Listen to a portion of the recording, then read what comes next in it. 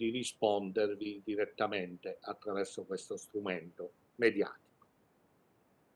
Lasciatemi innanzitutto un momento di gratitudine, di memoria grata a Jean-Luc Nancy, che è venuto a mancare l'altro ieri. Di lui, durante la pandemia, avevo riletto l'equivalenza del lui ha molto insegnato alla mia generazione, insieme al suo maestro Jacques Derrida. E c'entra con quello che sto per dire, perché una delle sue espressioni, direi paradigmatiche del pensiero di questo autore, è che bisogna dare corpo alla differenza. Differenza così teorizzata come ontologica da Heidegger, così messa in campo da Derrida, riceve corpo nel pensiero di Jean-Luc Nancy, in particolare nella sua grande opera sul senso del mondo. Ora, dare corpo alla differenza nel nostro caso significa dare corpo alla differenza tra Stato e Chiesa. Differenza radicale, differenza che rimane, ma differenza che deve in qualche modo relazionarsi, tenendo conto della reciproca alterità dei due soggetti chiamati ad entrare in dialogo. Noi stiamo riflettendo su questo corpo della differenza a partire dal fatto che l'anno scorso si sono celebrati i 150 anni da Porta Pia. È stata una irruzione. Già ieri si diceva che la modernità ha fatto irruzione nella Chiesa, come la primavera di De André per cui Marco adesso facciamo uno stacco musicale così ci rilassiamo, ci fa sentire una, un passaggio della canzone Il chimico tratta da, dall'opera di André Non al denaro, non all'amore né al cielo, non sono solo canzonette. L'avevo voluta paragonare all'irruzione della primavera, perché infatti possiamo considerare la modernità come la primavera dell'Occidente. E non c'è niente da fare. Entra sicura, non bussa. E allora eh, tutti gli artifici che possiamo mettere in campo per evitare questo ingresso del mondo moderno, della civiltà moderna, della scienza, del pensiero moderno e dello Stato moderno nella Chiesa cattolica risulteranno vani. Di fatto ciò è accaduto e Portapia resta un punto di non ritorno. Le nostalgie credo che non possono appartenerci. E allora, eh, continuando in qualche modo questa riflessione, vengo a chiedermi come mai e perché e in che modo possiamo impostare il dialogo tra Chiesa e Stato, tenendo conto di presupposti o supposti teologici di questo dialogo, alla luce anche di quanto appena ho detto. Ciò accade per il fatto che c'è qualcuno con il microfono aperto, bisogna chiudere.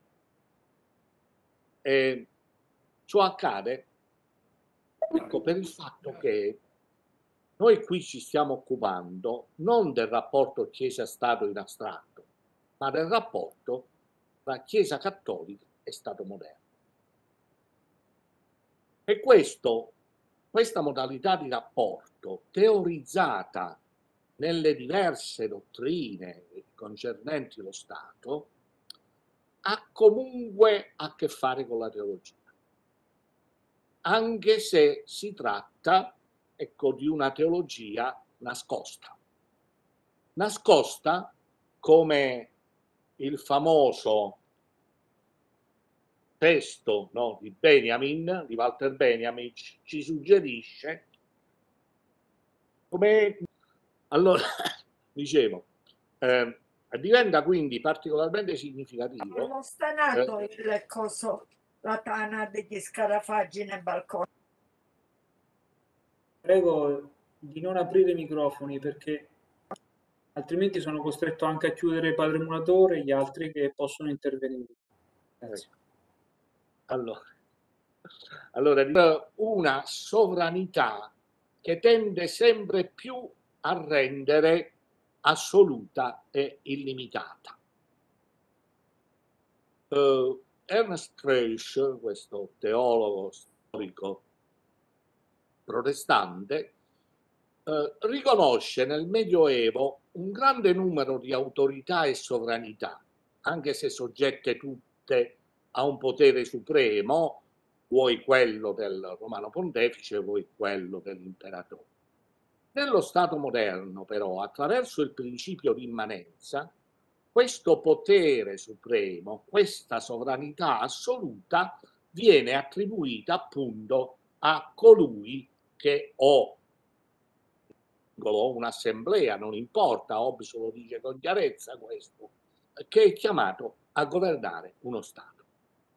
E dunque si tratta della parabola che conduce ad una sorta di assolutismo che troverà poi le sue realizzazioni nei totalitarismi del secolo breve. Di fronte a questo statale divino no, che ci pone dinanzi al tema della secolarizzazione. Io pensavo che la questione della secolarizzazione fosse archiviata in maniera abbastanza definitiva. Mentre vado a scoprire che proprio in questi giorni se ne è parlato in un interessante dibattito che si è tenuto al meeting di Rimini.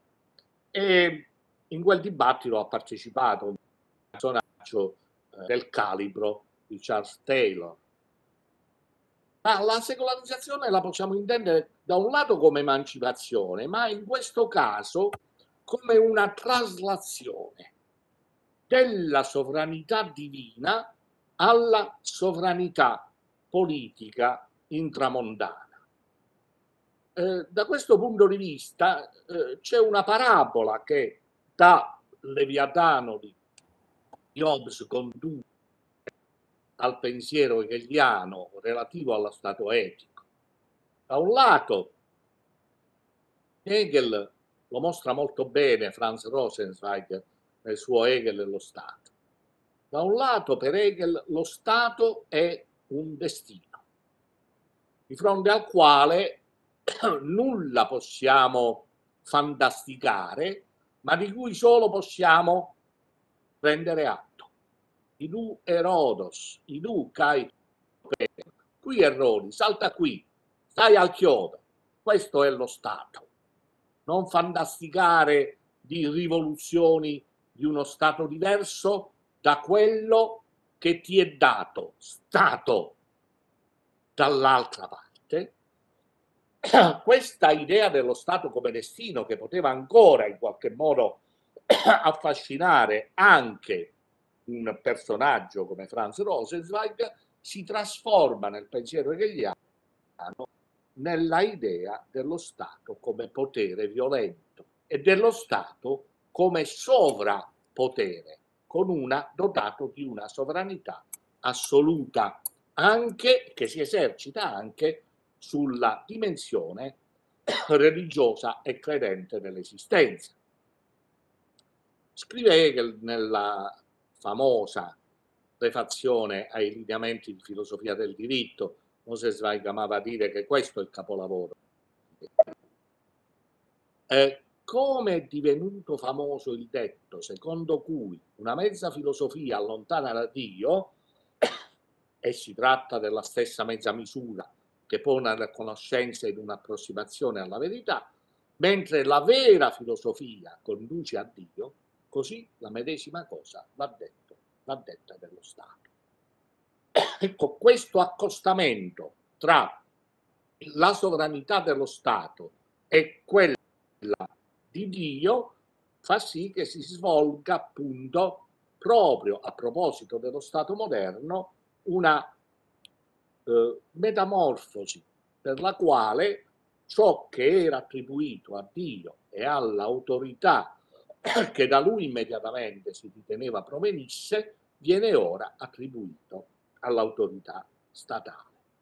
E da questo punto di vista, allora, il tema, il fulcro di un discorso circa la valenza teologica della, del pensiero politico moderno sta nella espressione regno di Dio, Basilea tutte uno, di cui abbiamo ascoltato anche nella relazione del professor Belli.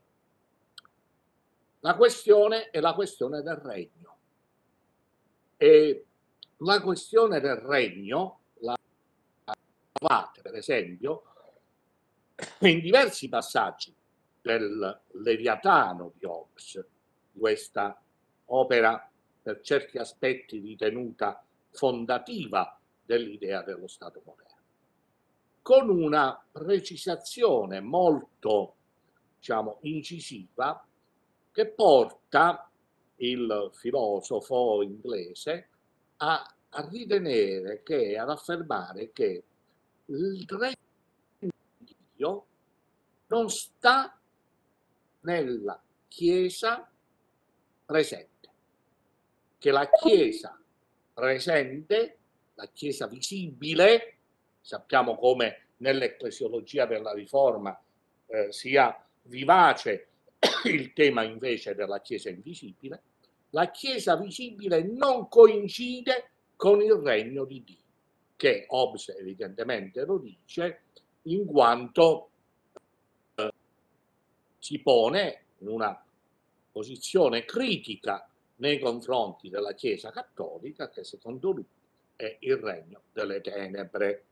Eh, proprio, ed è il regno delle tenebre proprio perché si autoproclama regno di Dio, dove il regno di Dio non è circoscrivibile nelle, nei confini della Chiesa cattolica e della Chiesa presente, diciamo della Chiesa visibile, in questo senso. E dunque eh, il ricorso alla parola di Dio eh, nelle pagine, soprattutto nella terza parte del Leviatano, sul, dove si, si mette in campo l'idea dello Stato cristiano, il riferimento fondamentale è il riferimento alla parola di come principio essenziale, secondo l'autore, di una politica cristiana. Non di meno, non dobbiamo rinunciare ai nostri sensi e all'esperienza, né alla nostra ragione naturale. Sono i talenti che Dio ha posto nelle nostre mani. E in questo senso no, abbiamo da un lato eh, la messa in campo della dimensione cosmico-antropologica della rivelazione, che noi apprendiamo attraverso la ragione, e la messa in campo della dimensione storico-patologica della rivelazione attraverso il ricorso alle scritture sante. Dunque eh, c'è una, una profonda ispirazione teologica dentro la stessa nascita dello Stato moderno. E da questo punto di vista eh, è anche direi, particolarmente significativo e interessante l'operazione che avviene eh, grazie anche al richiamo al Leviatano, che come si sa è un, un mostro marino dotato di grande potere, ma col quale Dio gioca. Dio gioca con Leviatano. Questo dovrebbe essere, in un certo senso, questa dovrebbe essere la prospettiva cristiana nei confronti del Stato leviatano. Eh, e quindi lo, lo, prende anche in giro, in un certo senso. No? Usa l'ironia, usa lo spirito critico, non, la, non, non lo teme. Il cristiano non teme il potere politico, tanto che arriva a, a dirgli di no e a farsi martirizzare. E questo non con un atteggiamento di amore per il sacrificio, la sofferenza e la morte. Il cristiano da questo punto di vista, come Gesù, la morte la subisce, non se la autoprovoca. Dunque, eh, in questo senso, allora, eh, il, il Leviatano diventa, diventa, proprio perché tratto dal testo di Giobbe, una metafora, in quanto metafora dello Stato, chiamato soprattutto a garantire la pace tra le diverse confessioni cristiane. Eh, quelle che noi in Europa chiamavamo guerre di religione non erano guerre di religione, erano guerre tra confessioni cristiane. Il, l'autorità, la sovranità del appunto re del sovrano doveva garantire la pace tra i cristiani. Pensate a che punto no, si, è, si è giunti. Farsi garantire la pace da una realtà altra perché da soli i cristiani non la sanno, non la sanno perseguire. Si combattono tra di loro. Ma c'è anche il riferimento a Giobbe. E le lotte tra cristiani del tempo, che noi appunto, che alla storia sono passate come guerre di religione, vengono in qualche modo pensate come le piaghe di Giobbe. E questo in una serie di riferimenti al testo biblico che troviamo anche negli altri scritti di Hobbes. Ora eh, direi quindi che la, eh, la riflessione eh, per certi aspetti che riterrei anche abbastanza stupefacenti eh, ritrova più parola di Dio e più teologia al di fuori della Chiesa cattolica, dell'epoca ovviamente, di quanta non ne ritrovi nella Chiesa cattolica stessa.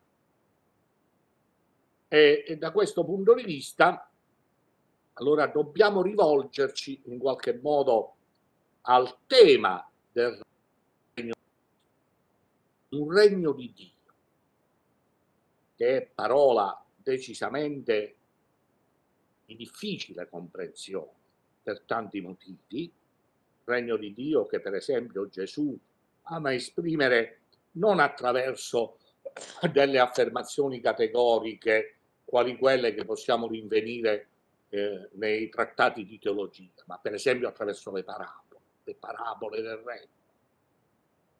Il regno di per il credente cristiano, il credente in Cristo, va chiesto, va implorato, va impetrato.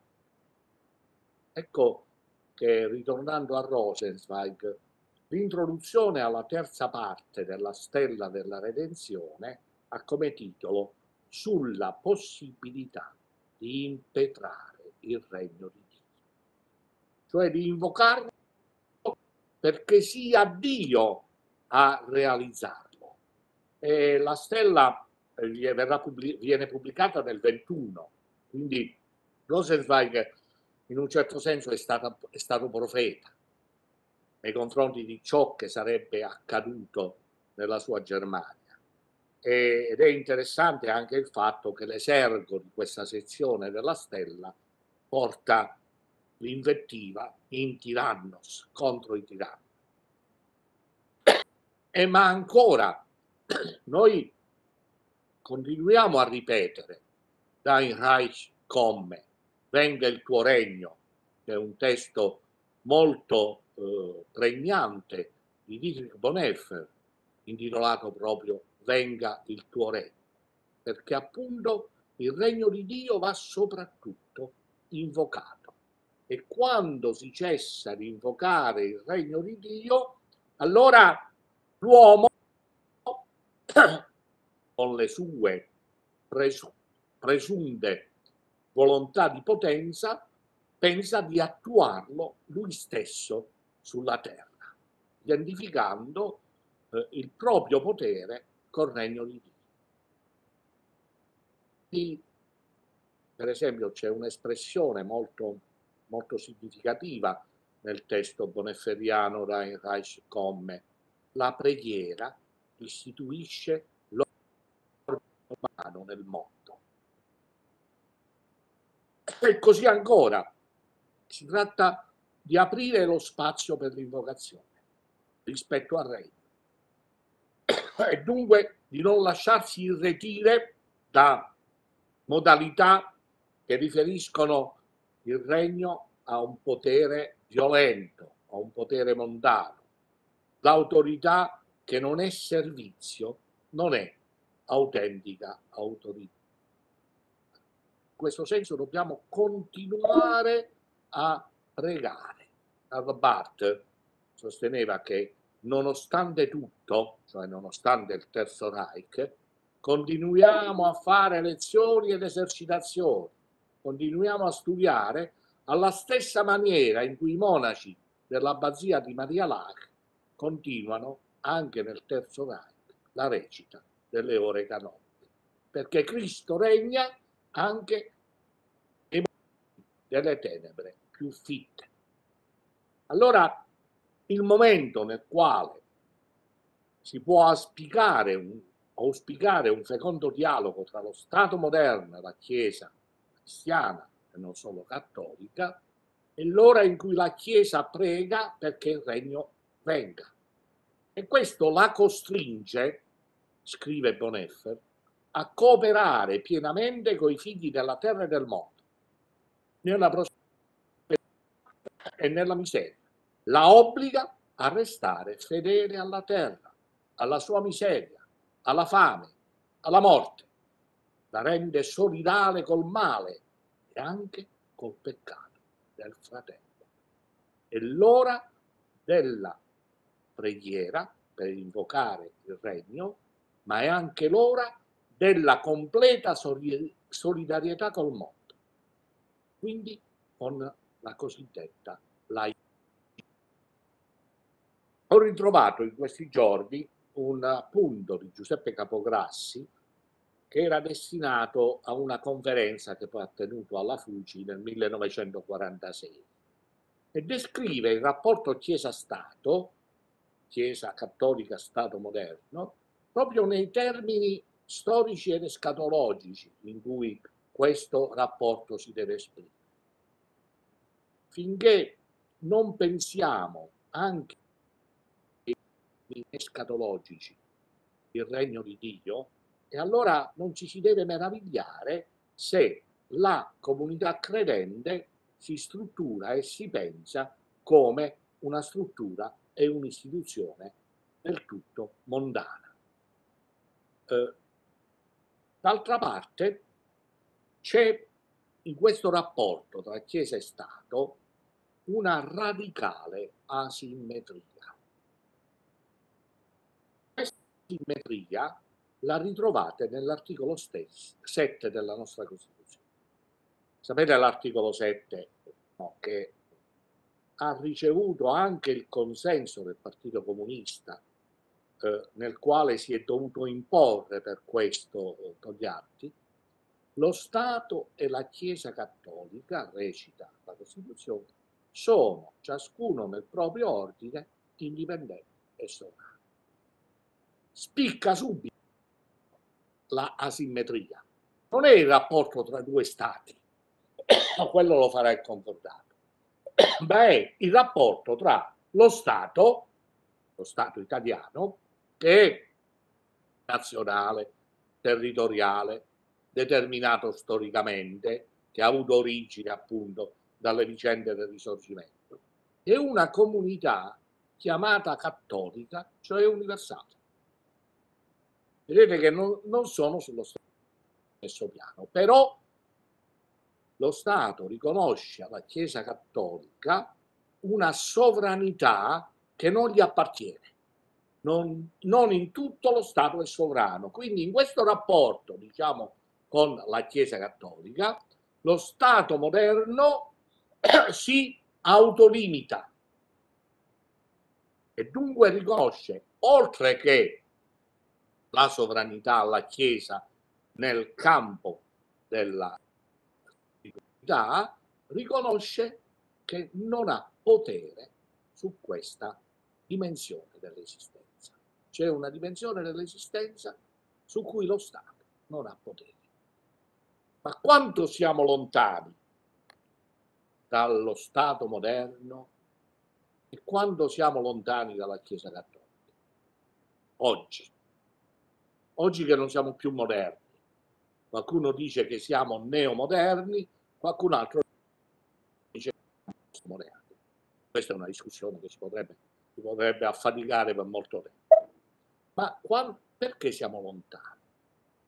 Siamo lontani perché sia lo Stato nazionale che la Chiesa Cattolica hanno subito delle profonde metamorfosi quando si è usciti dalla modernità. Lo Stato, già Arnold Toynbee, no? 95, parlava di un declino dello Stato nazionale. Lui però pensava al fatto che questo declino fosse determinato da organismi internazionali, nei quali bisognava insomma eh, organizzare i rapporti tra gli stati. Oggi con, la, con, il tema del villaggio globale la questione è ancora più, più complessa. organismi sovranazionali a limitare la sovranità degli stati nazionali, o buona pace dei sovranisti. Ma ci sono le grandi lobby economiche, finanziarie, l'economia ormai non c'è più, c'è la finanza, soprattutto. È lì che si prendono decisioni. A volte ci illudiamo che a decidere siano i parlamenti.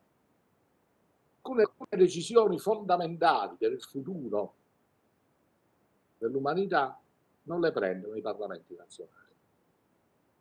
C'è un declino dello Stato-nazione, determinato da questi due fattori. Il riferimento agli organismi internazionali da un lato e la globalizzazione dall'altro. La Chiesa Cattolica. La Chiesa Cattolica si è profondamente rinnovata. Pensiamo al si è profondamente rinnovata perché sta progressivamente e speriamo senza nostalgie abbandonando la forma di un cattolicesimo convenzionale o cristianesimo convenzionale come recitava il famoso libro degli anni 70 di uh, Van der Poel. Il cristianesimo convenzionale viene abbandonato in nome di un cristianesimo che abbia a che fare con l'autenticità dell'esistenza, piuttosto che col formalismo delle tradizioni. E allora trovo del tutto, diciamo, fuori, fuori luogo il fatto che si sbatta il petto perché le chiese sono vuote. Qualcuno dice dopo la pandemia, c'è il famoso articolo di giorni fa di Derita su, sullo svuotarsi delle chiese dopo la pandemia. Cioè il fatto che la Chiesa riscopra la propria autenticità, si purifichi, significa anche che